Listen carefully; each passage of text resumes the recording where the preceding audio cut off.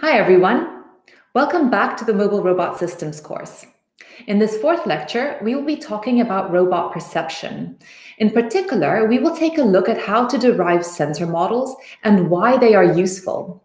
We'll take a look at a few sensor types, and at the end, we'll spend a little time talking about odometry and sensor fusion. Without further ado, let's get started.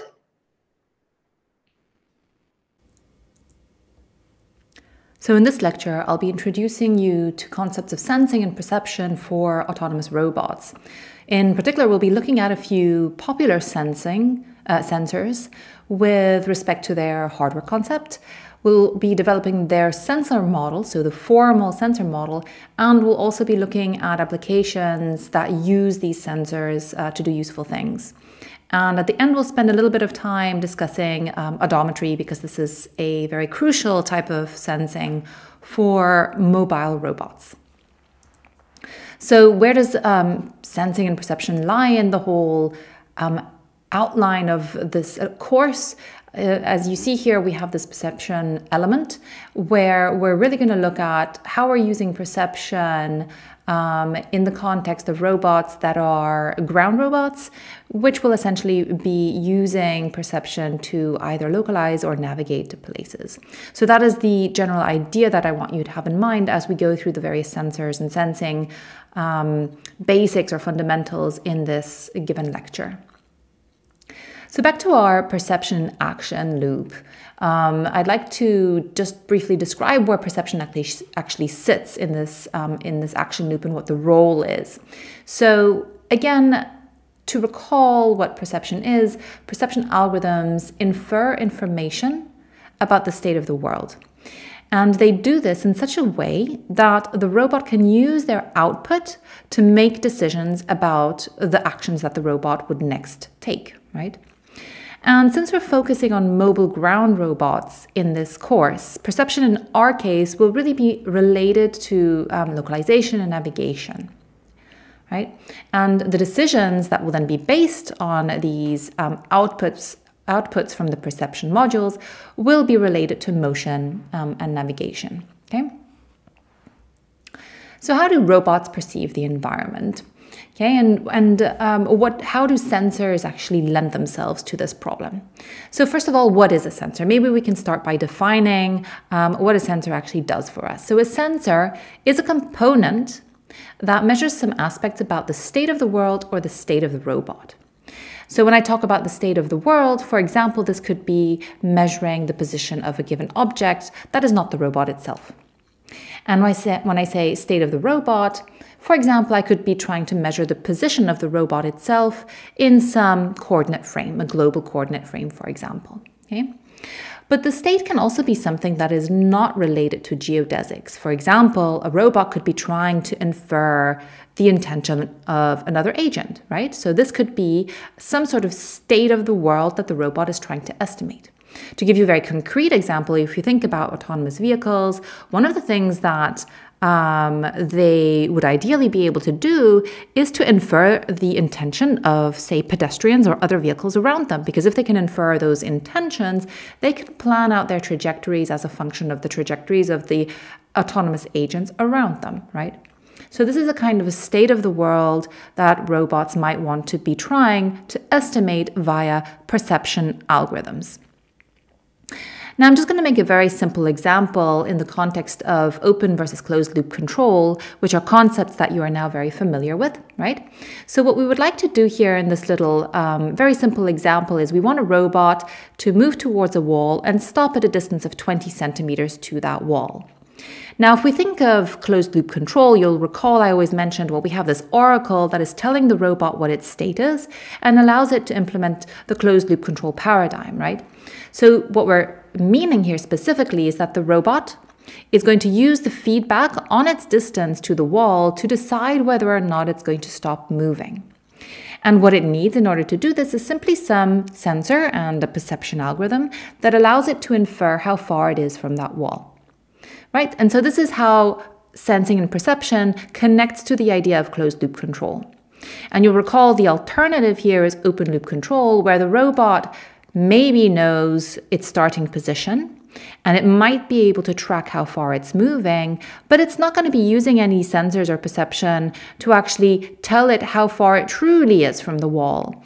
So, inevitably, in open loop control, the robot will stop at a distance from the wall that is probably less precise than the distance it would have stopped from the wall at had it been using um, closed loop control with some exteroceptive sensors that are telling it how far it truly is from the wall. Okay. But obviously, this is not always true, what I just said, because it will depend on the sensors that you're using to measure those external aspects, right? Distance to wall, versus the precision and accuracy of the sensors that the robot is using to measure its own movement, right? So, of course, we have to take that into account. But this is just an example that brings perception and sensing into the context of open loop versus closed loop control. So now in terms of sensor types at the very highest level, there are two types of sensors, right? So there are exteroceptive sensors that measure something external to the robot. And there are proprioceptive sensors that measure something internal to the robot. Okay? So if we look at the class of exteroceptive sensors, again, there are two types that we like to use to distinguish these, um, these sensors within this class. And these two types are active exteroceptive sensors versus passive exteroceptive sensors. So the active ones are defined by the fact that they affect the environment by emitting energy. So, for example, we can think of infrared um, distance sensors that actually emit infrared light, right? And they then measure the received light intensity to determine how far they are from the objects that actually reflected this emitted light or emitted energy, right? We can also think of ultrasound sensors, which emit sound waves and measure the round trip time of flight. Um, or we can think of laser scanners, right, that emit, emit um, uh, focused light. And there are many other examples of active sensors, but these are three of the most common or popular um, active sensors that are used in uh, localization and navigation. In the class of passive sensors, we have, for example, ambient light sensors. So those could, for example, be infrared receivers, but those that do not actually emit any energy. Or we could be measuring sound, or we could be measuring uh, well, we could be measuring vision or camera, right, using a camera, um, trying to estimate um, the, the visual state of our environment without actually affecting it. Okay? So the key thing here with passive sensors is that they only measure incident energy and of course in various forms, right? So the different types of sensors are measuring different um, energy modalities. In the class of proprioceptive sensors, um, we have different types of sensors that measure something about the robot itself.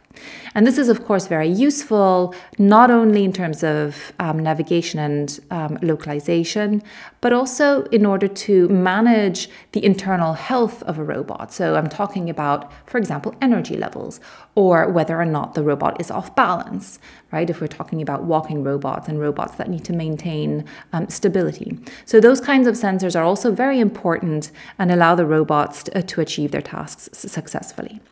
And as I mentioned in the previous slides, um, odometry will be a sensor or a sensing um, foundation that we will talk about quite a bit in this course because it's really important and crucial to um, uh, one of the aspects that we'll be looking at that enable a robot to know where it is and where it is going. Okay.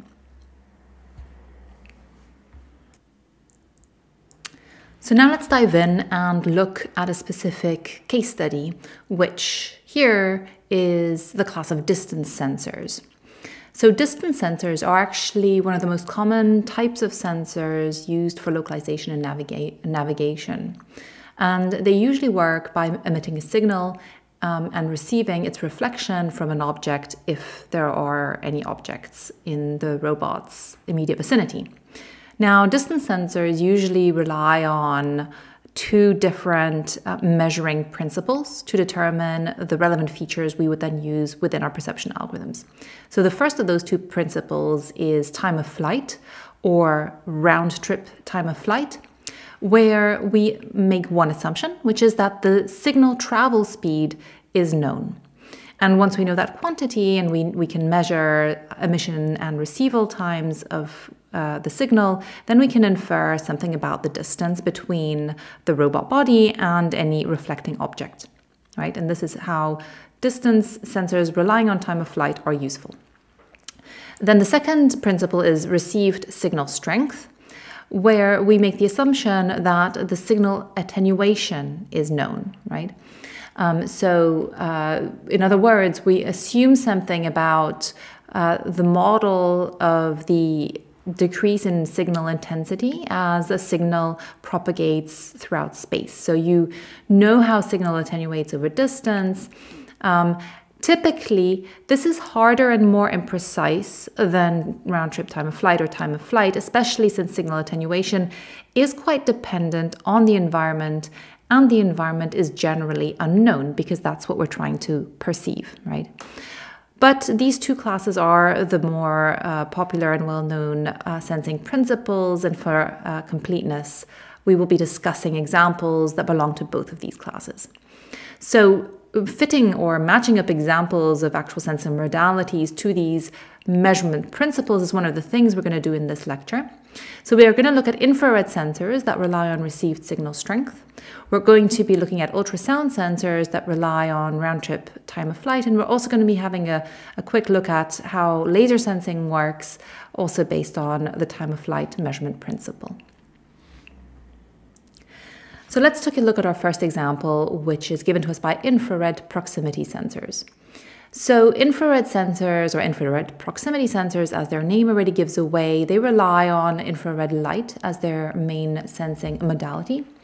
And this is useful because infrared light has long wavelengths, uh, invisible to the human eye, and can still be relatively easily sensed by um, relatively cheap sensing hardware. So, in the particular case of IR sensor, the emitter is made with an, uh, an LED diode and the detector is usually a photodiode or a phototransistor.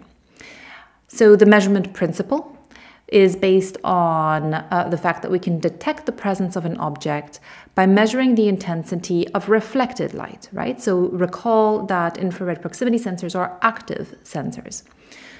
And uh, we assume here that the light intensity decreases with the square of the distance from the source and this relationship can be used to then measure the approximate distance to the object. Right? When ambient light must be subtracted, sensors can also take a measurement um, of the light without emissions, right? Or we can alternatively also put a passive optical infrared filter in front of the detector to filter out daylight. Okay, so those are various ways in which we can use infrared proximity sensors. Um, as I mentioned before, they're very popular, especially for especially for educational robots or cheaper robots, uh, because infrared circuitry and the infrared um, sensors themselves, those photodiodes, are very cheap to produce. They're standard off-the-shelf components, and the uh, little PCB boards that we use for them are also very easy to construct and print. Now, the main disadvantage of infrared proximity sensors is that they actually so the signals or the, that are that are reflected and how they're being reflected will strongly depend on the reflecting object's characteristics. So, for example, if the reflection um, happens on a smooth surface, the reflection will be much stronger than if it happens on a rugged, non smooth surface where we have light being scattered in various directions versus in smooth with smooth surfaces, all of the light being focused and coming back to the uh, receiver. Similarly, similarly, you'll find that white surfaces tend to reflect more light and darker surfaces tend to absorb more light, and this will also affect um, the receiver's sensor measurements and will in turn affect the estimated distance to the given objects. Okay, so those are the main disadvantages of using infrared as a sensing modality for distance. Now, the key question that we ask ourselves, and this is relevant to any type of sensor, is how do we actually relate a sensor measurement to a perceptive feature? Right? So, a perceptive feature can be um, anything really, but it tends to be the, the, uh, the, quantity that we're interested in or that we can most usefully use within a perception algorithm. So, for example, distance. Distance is a perceptive feature. And one way we can create this relationship is through a process that is called calibration. And we're going to have a look at the, uh, an example of how to calibrate an infrared proximity sensor. This process of calibration, what it produces for us is actually a sensor model. And the sensor model is the formality that relates um, the output of a sensor to our perceptive feature. So the goal of any calibration procedure is to determine the mapping between the sensor reading and a desired feature. And it relies on three main steps, where the first step uses a ground truth telemetry system to set up the sensor. The second step then consists of measuring and tabulating um, these measured values um, with respect to the ground truth values that we used in the setup of step one. And the third step consists of actually fitting a curve to create a more compact representation of the relationship between um, sensor output and perceptive feature. Okay. So in order to create these compact representations um, of these measurement feature relationships, uh, there are different ways we can think of doing this. One way is to think about creating a curve or fitting a curve to the, set, the collected sensor measurements. And this curve would then ideally correspond um, uh, in the case of infrared sensors, for example, to a signal whose intensity decreases with the square of the distance, because this is something that we know from first principles how infrared proximity is supposed to behave, right? Um, and you can see here in, in this plot that I'm showing you, as expected, um, that the sensor will actually not return the same value for each distance. Now, why is that? Well, if we go back and think about um, some of the things I talked uh, about in the preceding lectures, one of the key items I kept on stressing was that in any robotic system, there will be uncertainty. And this uncertainty arises due to um, malfunction or cheap production of the sensors, but also to uncertainties and unmodeled or undermodeled artifacts in the environment right? So it is quite normal that if you place your sensor in front of a wall at a fixed distance and you don't move it, repeated measurements will not always be the same. There happens to be noise. Now, one of the key questions that calibration and sensor models deal with is exactly how to deal with this uncertainty. Because dealing with this uncertainty is really crucial to effectively and efficiently solving the perception problem in robotics.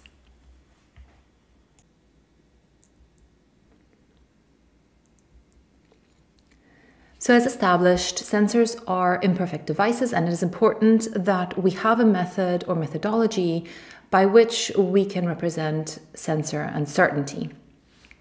So, we know that errors occur due to randomness, so unknown or unmodeled reasons, as well as systematic errors.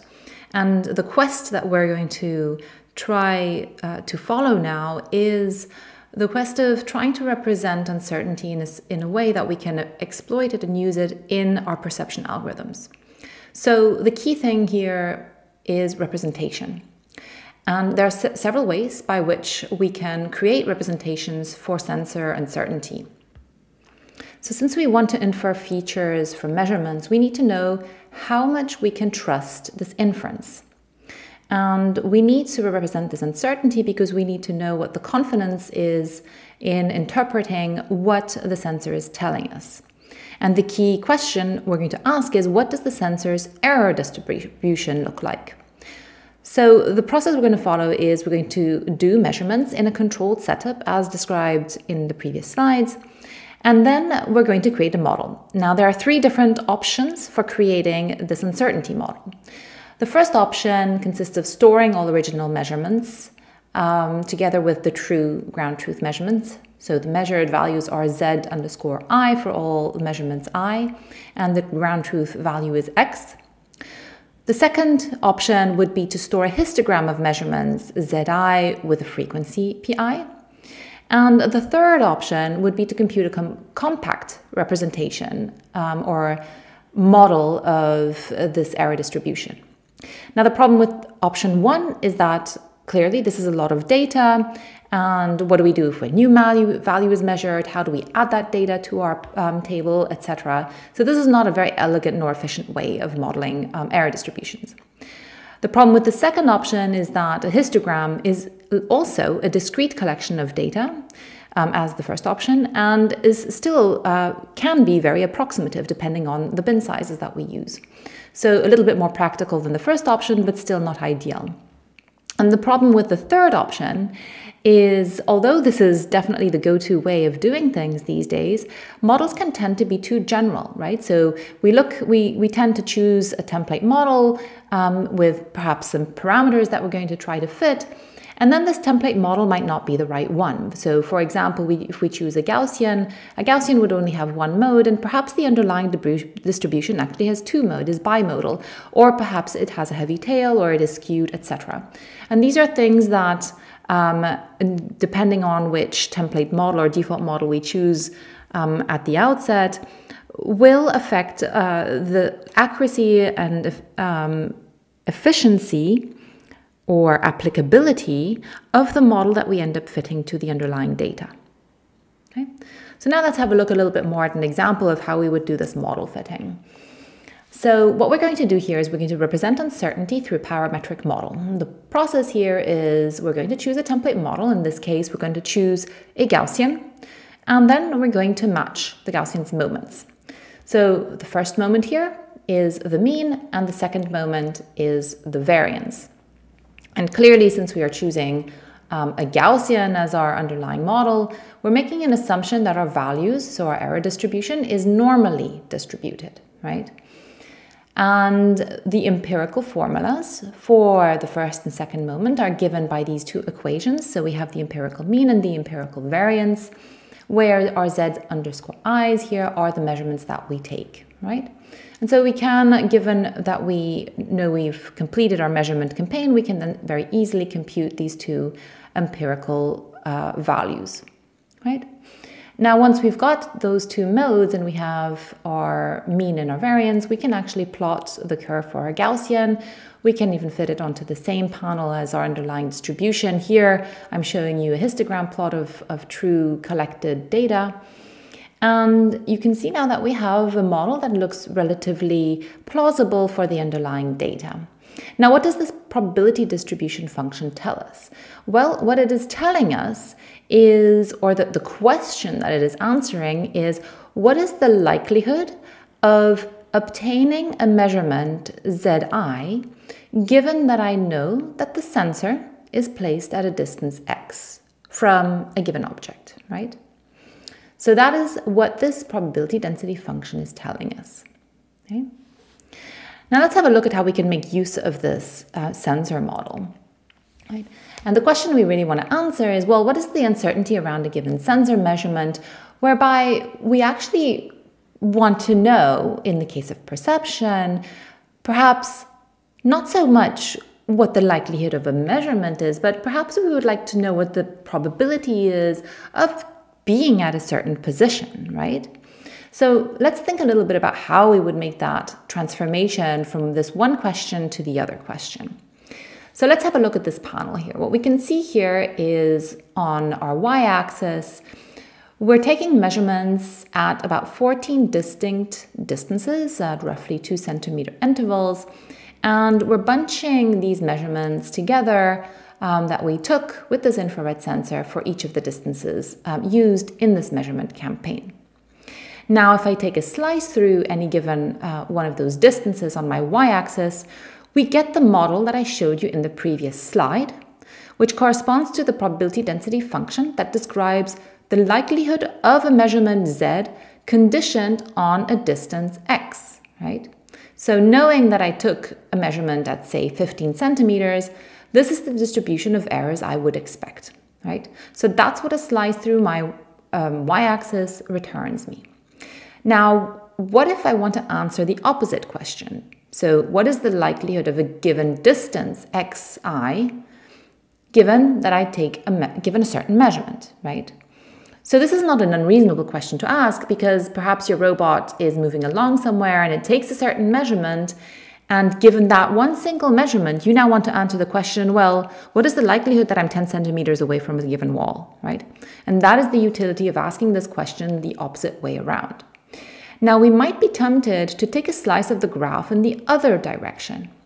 However, Bayes' theorem actually tells us that we can only use this data directly to infer p of x given z if the sum over our pz divided by px is 1 for all i's, meaning that we have a uniform distribution over any measurement, right?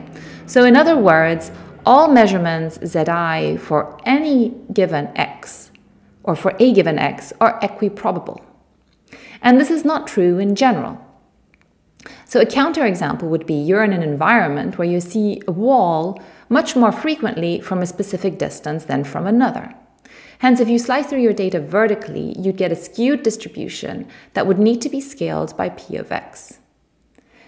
Hence, the takeaway message here is that px of z is in general highly dependent on the given uh, environment. So to summarize, to formally represent the model P of x given z, we need Bayes as well as values for pz and px for all i's.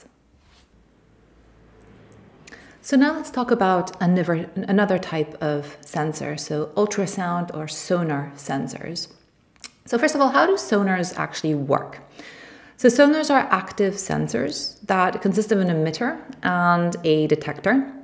The emitter produces a chirp or a ping of ultrasound frequency. This sound then travels away from the source, and if it encounters a barrier, it'll bounce off it. So it'll be reflected, and perhaps it will return to the receiver. So in this case, because we're talking about sound waves, receivers are generally microphones. So if there's no barrier or if this uh, emitted sound wave is not reflected, it doesn't return, um, in general, and nothing will be detected at the receiver end. So if the sound does return, then the amount uh, of time it takes for it to return can then be used to calculate the distance between the emitter and the object or, or the barrier that the wave encountered and made it um, reflect and return to the uh, receiver. So this is how we would actually implement such a system. So a timer is started when the ultrasound chirp is emitted, and it is stopped when the reflected sound wave returns. So this resulting time then is multiplied by the, the speed of sound and divided by two because the sound traveled um, to the barrier uh, and back, and we're only really trying to determine how far the barrier uh, away is from our emitter. So it's only a one-way distance that we're interested in. Okay? So very simple um, measurement principle. Now, the main disadvantage of ultrasound sensors is that they're dependent or they, they're sensitive to specular reflections, right? So um, this can produce cones and, and the sensor readings would um, are generally interpreted as arcs and not as point measurements. Um, and this can introduce some complexities in uh, the values that are actually being returned um, to the receiver um, device. Okay. But in general, ultrasound or sonar sensors are very benign because they have very linear characteristics, given that we're measuring time of flight. So this is some data from an actual measurement campaign, and you can see how beautifully linear the raw ultrasound values behave with respect to their ground truth measurement distances. And um, also, and on top of that, you can see that the variance is very small. So linearity and very small variance are two very attractive properties for any given sensing modality because it means that there's little uncertainty in the values um, that we're receiving and we can use those directly to infer um, the, the, the perception features that we're interested in. Now there's a small caveat here, obviously, um, and that is, well, what kind of environment was this um, measurement campaign taken in? And clearly, if you look at um, the underlying paper here, you can see that this controlled setup was very benign, so there was only one surface type, it was smooth, um, and the robot was actually facing it. So no ruggedness, no cones, no sharp acute angles, and that definitely does impact um, the values that are being returned to uh, the sensor. So now I'd like to look at a, another type of sensor, which is the laser scanner, or otherwise known as a LiDAR, which stands for light detection and ranging. So, LiDARs, just like ultrasound sensors, are based on the simple um, measurement principle of time of flight. In the case of our LiDARs, they're based on a pulse of light, right? And um, the modality here is coherent light, so usually infrared, where coherence means that all waves are of the same frequency and the same phase. So the start of each wave is at the same time. Um, and this means that all the energy is concentrated in a narrow beam. Then, with as with time of flight, the distance is computed by measuring the time of flight. Um, uh, for example, if you look at a 30 centimeter round trip, the time of flight would be 0.002 microseconds, since we know the speed of light. Um, the hardware is con consists of rec receiver emitter pairs um, combined with rotating mirrors for sweeping to give us more field of view, right? And the common usage for LiDARs is really high end research robotics or actual commercial applications such as autonomous vehicles. And this is mainly due to the price range of um, LiDARs. And we'll talk a little bit about that um, uh, in a few, a few slides down the road. So the advantages of LiDARs, um, despite their high price and more complicated um, uh, construction, is that they are able to deliver us very high sampling rates and that there is no interference between the emitted beams. So ultimately, they're very precise sensors if we know the uh, conditions, though the environmental conditions that they're operating in, right?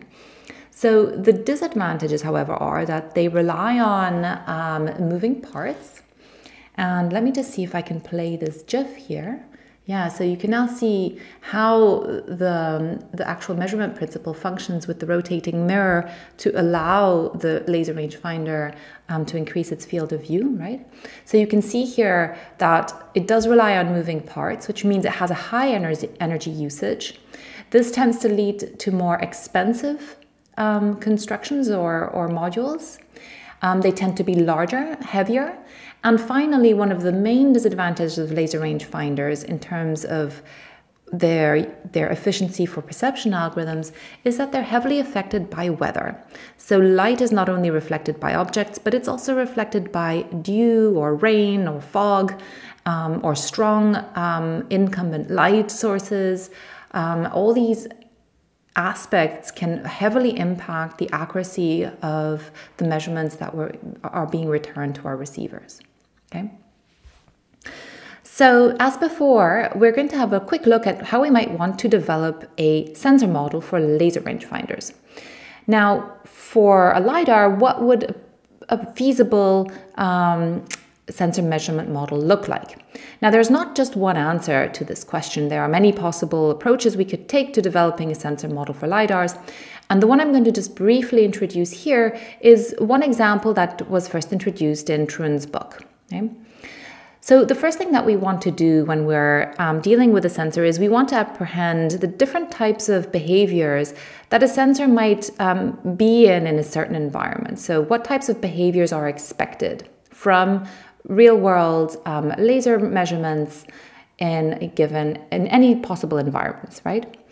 Then once we've kind of brainstormed through possible behaviors, we would list them, and we want to we might want to compose um, a model that consists or is able to model these various behaviors that we're going to be expecting. Okay, so let's try to translate this rationale into a sensor model.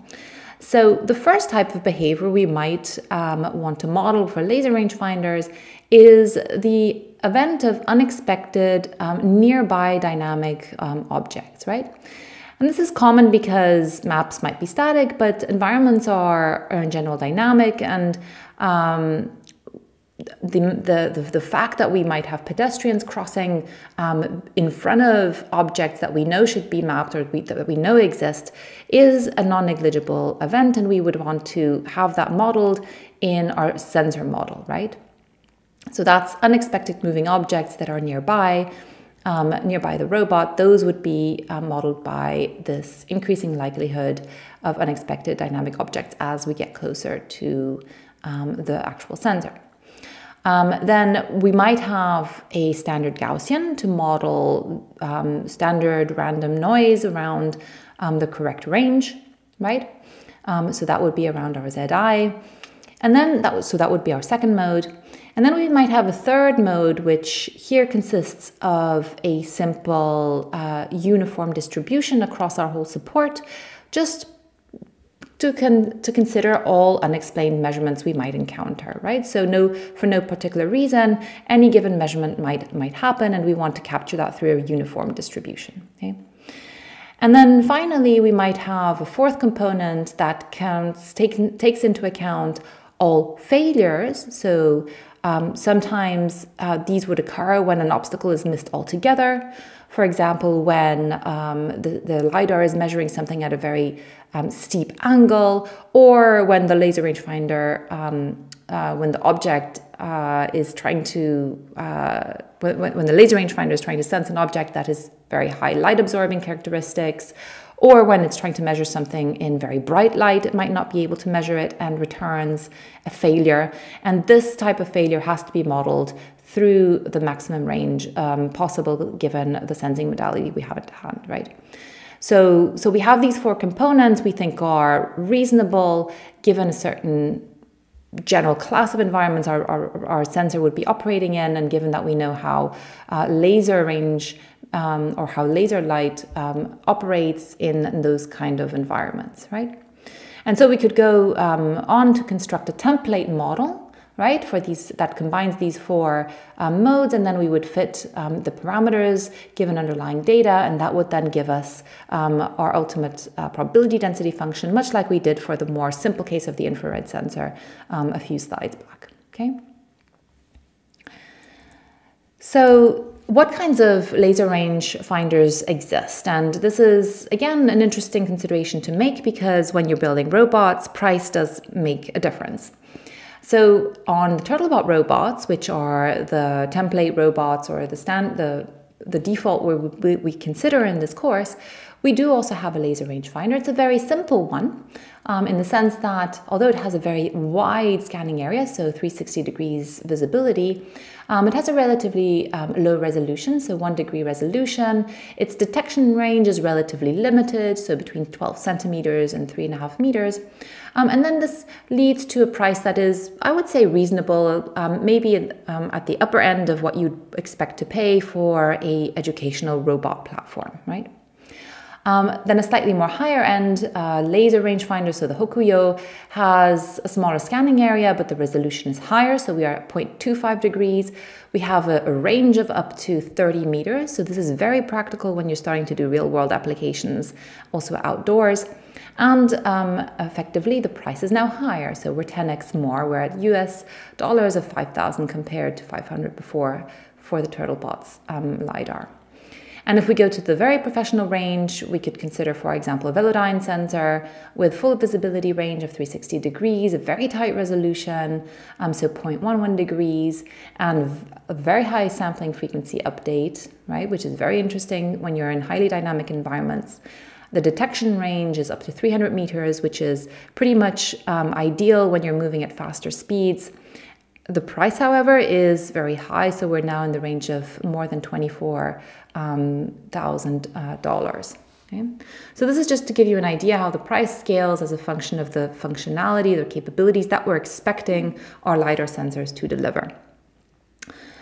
So, um, as many of you are certainly aware of, laser, laser scanners are uh, incredibly popular for um, autonomous driving purposes, for applications of autonomous driving because they send they allow us to compose maps or dynamic maps of the environment at a very high resolution by collecting point clouds and inferring the shapes of objects that these point clouds compose, right? So these point clouds essentially what they give us are depth information um, that is centered essentially at the origin of the laser rangefinder.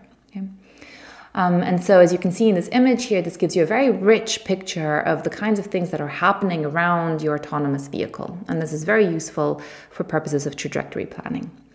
Now, one thing to mention here is that um, although laser rangefinders do bring us or give us um, enormous richness in terms of information, they have a lot of downsides. Um, the ones that I mentioned before, so the high price, the moving parts, and especially their dependency on environmental factors, so weather and bright light, etc., which means that a lot of automakers today are actually not so keen on um, laser rangefinders anymore. And you will actually see that um, the newest Tesla models and a couple of other automator, automakers are actually not integrating laser rangefinders at all into their uh, vehicle prototypes. Okay. So, moving on to a completely different type of perception, I'd just like to say a few words about vision. So, vision is not at all going to be the, the focus of this course, and we won't go into it um, at, in, any, uh, in any depth at all.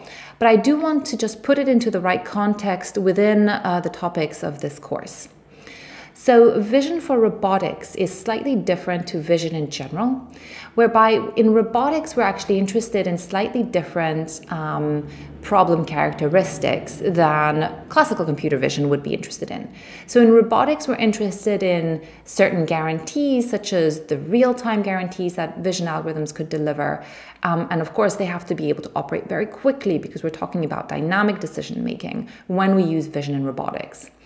Um, the perception is task driven when we use vision, right? So we're not using vision in general to just classify anything arbitrarily. We usually use vision for very specific purposes. So, for example, we want to detect pedestrians and other cars, but are not necessarily interested in having classifiers that can detect any possible object that exists in the world, right? So, it's very task driven the way vision is used in robotics. Um, we're using vision in motion, right? So very commonly the cameras are placed on objects that are moving, and hence we're, we're, we're using data streams rather than still images. So many of you who studied vision in machine learning classes are, are familiar with the vision um, databases that are just collections of static images. Well, we're really interested in streams, which produces completely different types of data sources and um, databases that we would have to process in order to make sense of, right? And finally, what applications do we do we actually want to solve once we have vision algorithms that work? Well, common common applications in robotics are, for example, object tracking. So you have a robot that is trying to hone in to a target, or or because it wants to protect the target, or because it wants to follow that target for some reason. Um, we might be using vision for information gathering, so you could think of environmental monitoring purposes or a wildlife monitoring, and you would want to do those things in autonomous manner. Um, and visual odometry is actually also an application that is perhaps more of a means to an end, um, visual odometry, what it allows us to do is actually it allows us to estimate positions of mobile uh, of autonomous mobile uh, vehicles. So, what how how visual odometry actually works, or otherwise known as visual inertial odometry, is by looking at image frames as they come in in your stream, you can actually infer by how much your vehicle has moved along your degrees of freedom by comparing neighboring frames, right? And so this idea is very powerful and, and can allow you to use um, the idea of odometry, not using odometers, but instead using visual input, right? And so these are just a couple of ideas and, um, and applications that are very popular within the field of robotics um, through leveraging uh, vision as our perception component. So now I just want to give you another example of a a cool way of uh, being able to sense robots or give robot sensing capabilities. And this component or idea I want to talk about, we refer to as fiducials. So, what are fiducial markers? So, fiducial markers were most um, recently uh, popularized or made very uh, well known within the robotics community um, by the by Edwin Olson at the University of Michigan um, quite a while back actually um, when he designed this thing which he called the April tag which is basically a piece of paper with um, a print on it that looks very much like a QR code which allows um, you to easily recognize and position landmarks in your environment, right?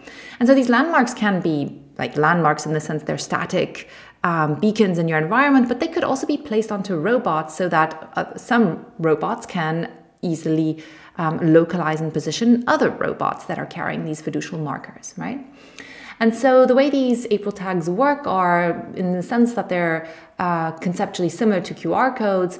Um, are that they localize um, the, the quad or they detect the quad and the encoding in this quad or in the code allows them to detect the identity of the object and also use the bits in there um, to determine the 3D pose with respect to the camera that is detecting um, the quad, right? Um, so you place the print on an object, you, your, your, the camera that is on the robot detects it and then localizes it with respect to the camera position. So this is incredibly useful. And um, for those of you who are interested in, in more details, I encourage you to look up the original paper uh, that was published uh, in 2011. Okay. And I'm going to show you two examples of how we could might actually use April tags um, to do some cool things uh, with mobile robots. So the first example I'm going to show you here is using a combination of uh, fiducial markers placed on static objects in combination with these objects being accessible over the internet, so over IP addresses. So let me just play this movie. So here you see a setup with mobile robot and hue lamps that are connected to the internet. The robot can talk to the internet and can tell the network which hue lamps it's seeing, given that it detects a given April tag, right? So it knows which hue lamp it wants to turn on once it knows which April tag it's standing in front of. And it does that detection given its onboard camera. Right? And this is really cool because actually the nice thing about this is that you can connect this all up and control the robot and the um, access of the hue lamps over the internet. Another example that is really cool here is you can actually control a platoon of robots. So you can see that um, the two follower robots are using cameras to maintain a range as well as a bearing to the leader robot. So if the leader robot stops, the follower robots detect that they're getting too close to the fiducial marker they're following and they will also stop. And as the leader robot starts turning, um, the follower robots will also start turning, um, given that they are told to maintain a certain range and bearing um, to the, the, the, fiducial markers they're supposed to follow, right? And of course, you can think of um, more sophisticated multi-robot type uh, formations that you can do using these um, April tags as fiducial markers. Okay. So now that we've kind of looked at different types of sensors, I want to spend a few minutes talking about the considerations that we would need to make when we're actually choosing a sensor um, to integrate on a given robotic platform. So, a couple of or, uh, or, four main components or aspects we need to consent, consider are as follows. And the first one is dynamic range, where the dynamic range tells us what the spread is between the lower and upper limits of the input values, right? Um, and this is important because we want to know what types of um, inputs we're expecting in a given environment and how those inputs relate to the task that we're trying to solve. So, does the dynamic range cover the task specification, right? Then we have resolution. So this is um, equal to the minimum distance between two values that can be detected by a sensor right? So the higher the resolution, the more um, information we get. So we want to make sure that the information we're getting is enough to solve the task we're trying to solve. Linearity is something we may be interested in because it's practical. So does the behavior, does the output um, vary linearly or non-linearly as our input varies? And is this important um, with respect to the task we're trying to solve? And of course, frequency. So, how dynamic are we expecting our environment to be? How quickly does our robot need to uh, react? And this is a very important question, especially if we're thinking of robots that really depend on high frequencies um, to maintain, say, stability or to maintain hover um, or simply maintain um, uh, feasible motion, right? So, frequency of updates um, is very important for, for several types of robot platforms. Sensor performance also plays a role. Um, so the first thing we need to consider is sensitivity or cross sensitivity, which is the degree to which an incremental change in the target input signal changes um, the output signal, right? And so cross sensitivity is something that is undesirable. So, for example, a compass that is sensitive to a magnetic north might also be sensitive to a ferrous building, right? And this is something we ideally would want to avoid. And finally, we want to consider what type of performance we're expecting in terms of errors.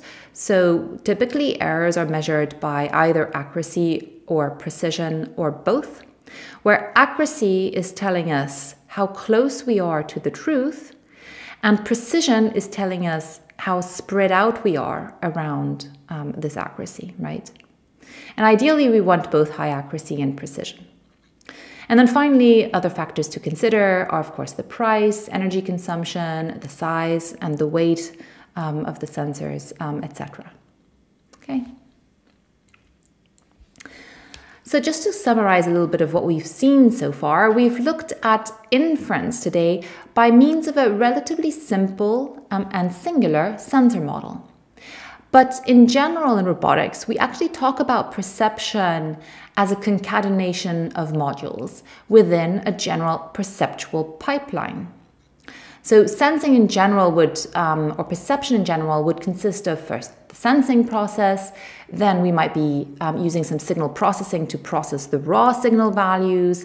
Then we might feed that into a feature ex extraction um, component via some inference model that may or may not be similar to the models we looked at today. And finally, we would use that to, um, output to um, interpret a scene or the state of the robot or the world, right? And so this altogether is um, our perceptual pipeline. And the length or the sophistication of this pipeline tells us whether we're using a proximal architecture, whereby we'd be thinking of a very short or very simple pipeline, versus a more distal architecture, where we're looking at a long pipeline with a lot of sophisticated modules, right? And so this then ties back to some of the very early concepts I talked about in our control architectures course, where I made the example of, for example, Braitenberg vehicles, which are clearly very proximal. And you can see now by adding all these layers of, of modeling and um, perception and representation, we can make these these architecture more distal and more sophisticated and ultimately also more powerful. So, so far we've talked about exteroceptive sensing in the form of distance sensors. Now, a key sensor on all mobile wheel robots is the odometer, which allows us to measure how far a robot has moved. So odometers are based on um, this concept of shaft encoders that allows to measure the angular rotation of a shaft or an axle. And how do they do this? So, by the simple application of light, and based on the combination of that with two different options or two, two different ideas. So, the first idea is given to us by the break beam shaft encoder, which basically uses a slotted disc that breaks the beam that is being emitted by the emitter that moves around with the uh, with um, the motor. And the second idea is our reflectance based shaft encoder um, that is basically based on the idea of a colored disk that affects the sensor reading, right? So you can see here how we have an emitter um, emitting uh, the, the, the, light in the detector, um, detecting the returned reflected light intensity based on the color that is uh, moving around, so that color disk that is moving around attached to uh, the, the motor, okay? So these are the two options that we have um, for light-based shaft encoding. And in both cases, what you're doing is you're measuring the rotation of the wheel, which is very practical if you want to measure how far your robots are moving. And so these kinds of odometers or also speedometers use um, ideas as such uh, to determine how far they're traveling uh, or at which speeds. Now, one more thing that you can do with odometers is you can also use the shaft encoders to measure the direction of motion. So how would we do this? So the quadrature encoder here is able to detect um, the direction of motion, where a second detector is shifted by a phase of 90 degrees that allows for um, backing out what the sense is of the rotation. So if I play this GIF here, you can see how the um, transition of the encodings differ as you move in clockwise versus counterclockwise directions, right? So if you're work if you're working in clockwise, you would detect the transitions of 1 1 to 0 1 to 0 0 to 1 0, right? Um, if we encode white uh, with 1 and 0 with black. And in the case of counterclockwise, the transitions you'd be encountering here are 1 1 1 0 0 0 and 0 1 right so the, the the transitions are different and this is how you would be able to detect the direction of motion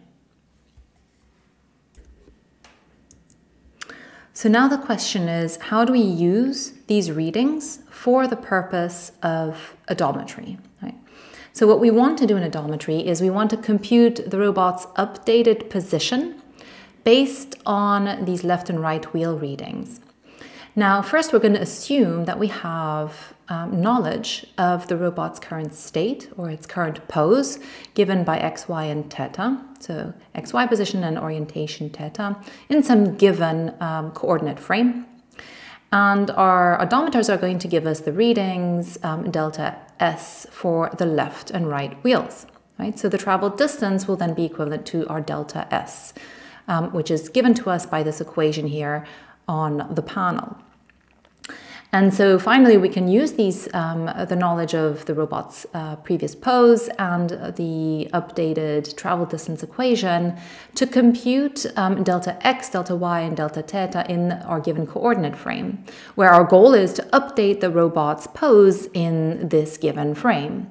So now, looking at the equation on the right-hand side, we simply have x at time t plus 1, assuming that what our assuming we know what our sampling frequency is, is simply equal to our robot's pose at the prior time step plus this travel distance for xy and um, our delta theta for our orientation. Right. So since odometers are also sensors, uh, these odometers will also require sensor models. Since odometers are no different, they are also susceptible to noise. And we need to have a way of modeling this uncertainty um, that is given to us through the noise that they are sensitive to. And there are, of course, various ways, again, of doing this. And the, the method that I'm going to be introducing to you today is based on the methodology that is described in Thrun's book. And I do um, invite you to have a deeper look and deep dive into that method in your free time. So what we're going to do is we're going to look at how integrating wheel encoder information over time gives us odometry and how to interpret that odometry measurement when we know that there is uncertainty.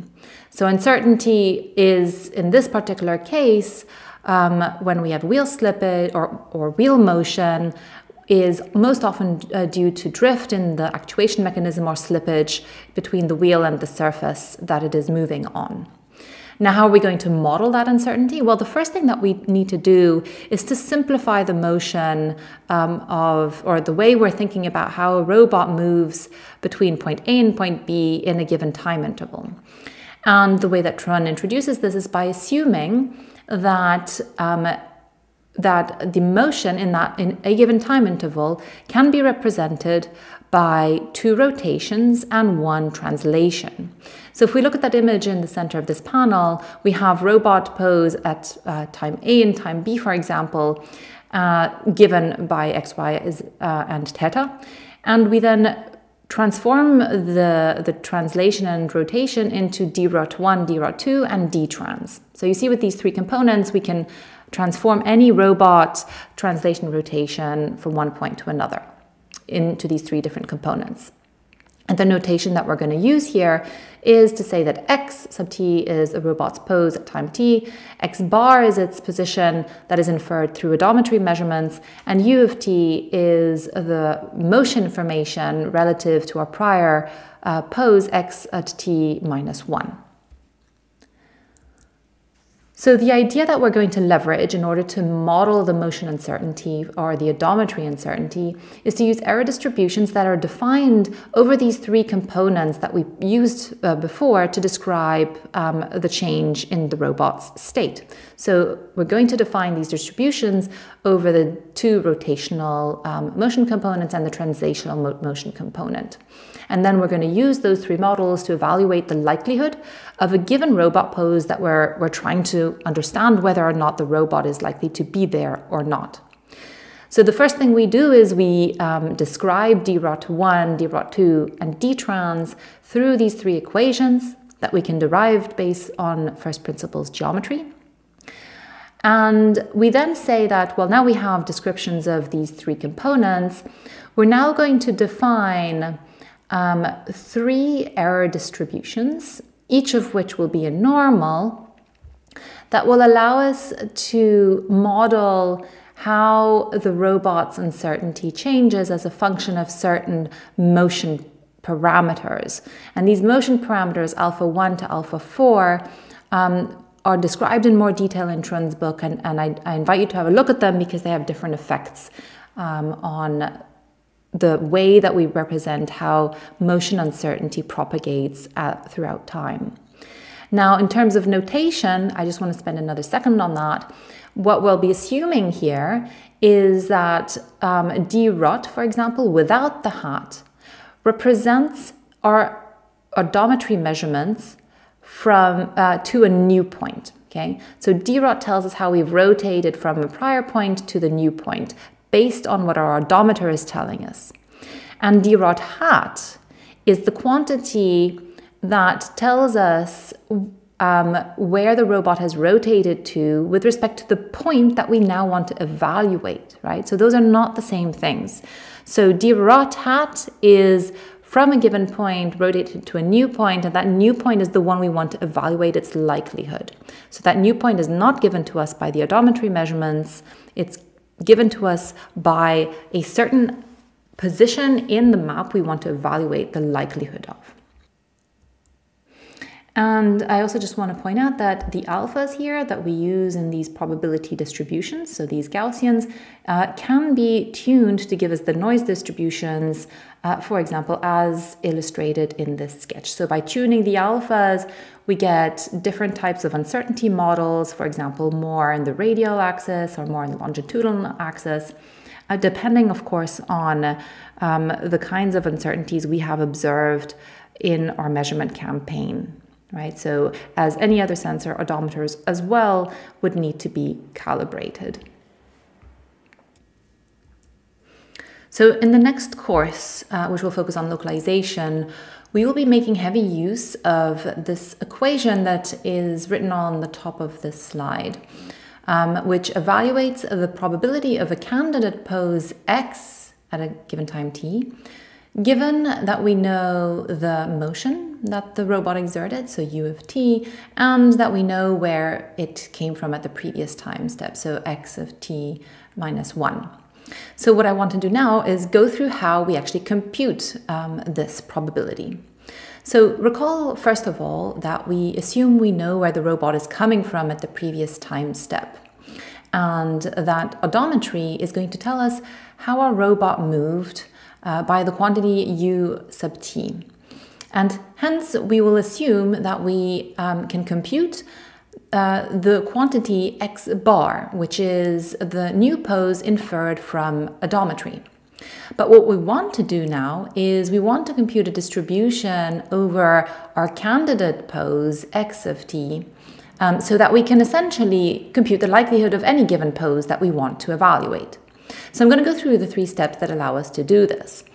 Um, so the first step basically consists of computing our um, delta rot 1, delta rot 2, and delta trans um, as given in the previous slide from our odometry information uh, u sub t, right? So this is all we need in order to compute those um, delta values.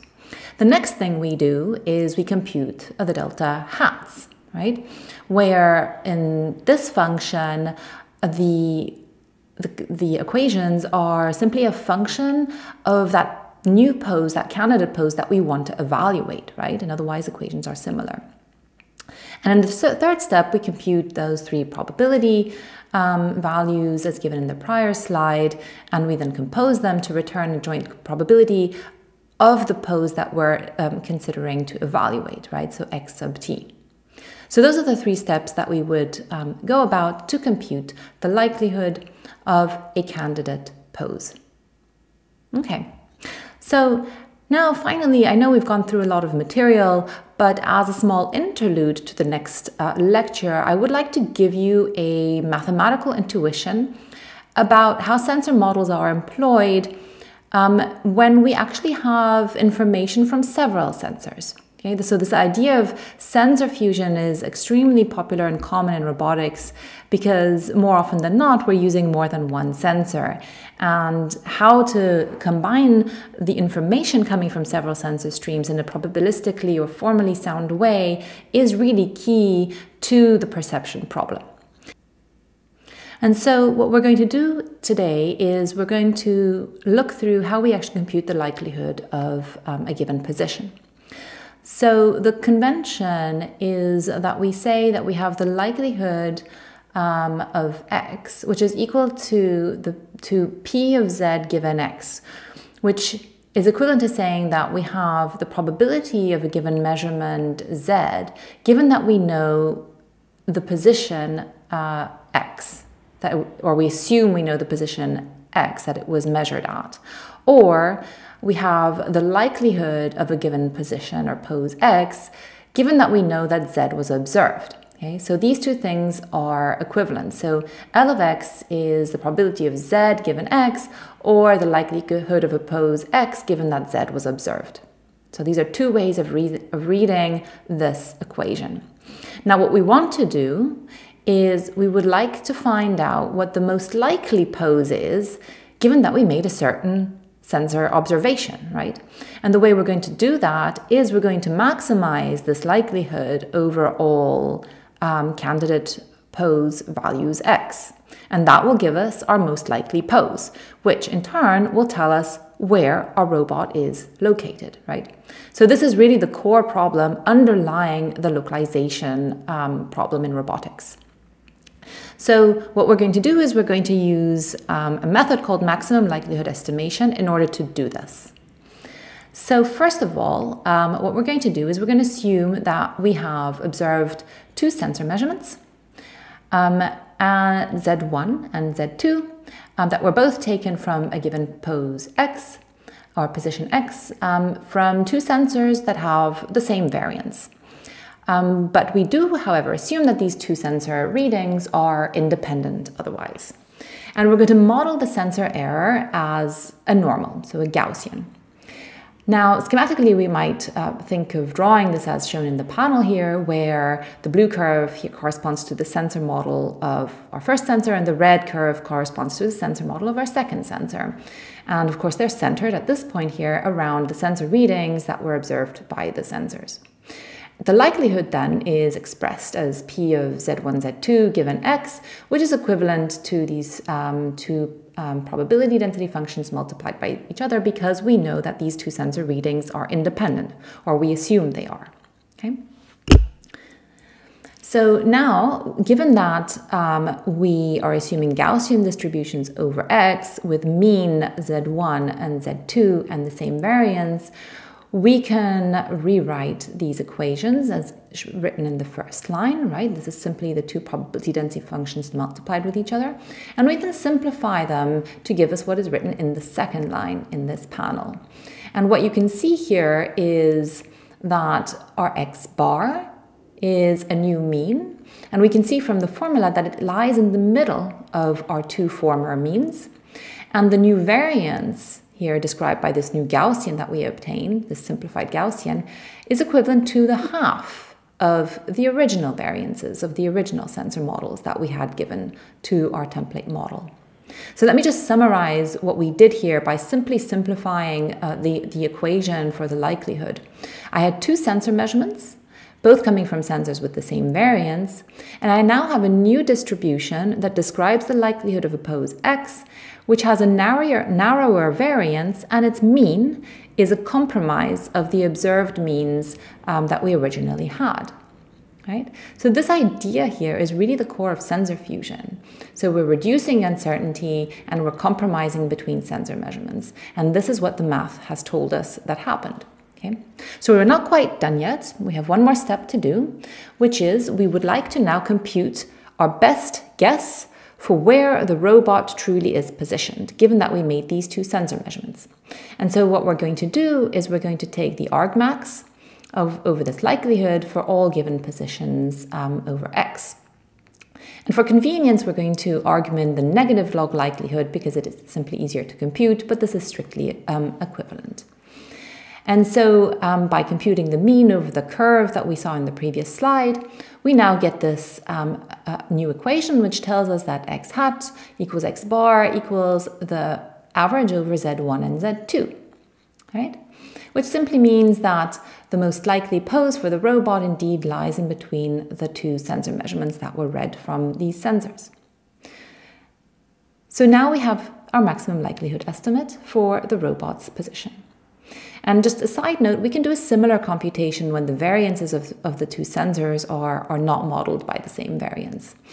So what I showed you in these last two, three slides is how we can actually use sensor models and how we can employ them to combine independent sensor measurements to give us um, estimates of where our robots are actually uh, positioned.